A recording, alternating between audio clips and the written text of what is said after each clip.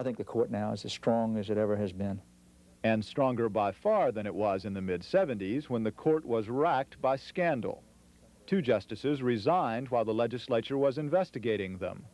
Justice Joe Boyd also was investigated, but he hung on to his seat, insisting he had ripped an improper memo he received into 17 equal pieces and flushed it down the toilet.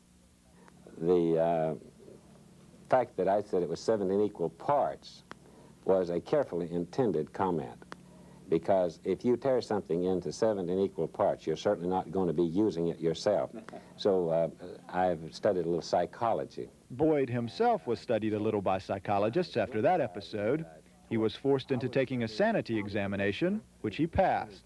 He boasted in his next election that he was the only person on the court who had been certified sane.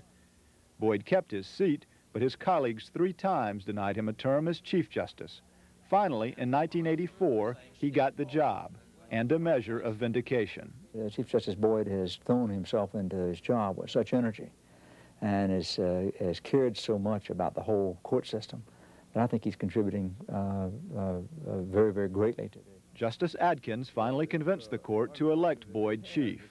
They uh, passed over Justice Boyd. it bothered me because from that moment on, uh, some of the justices go around and politic for Chief Justice, and I think that's extremely inappropriate. I've never done it, and uh, I don't think it's appropriate for anyone else to do it.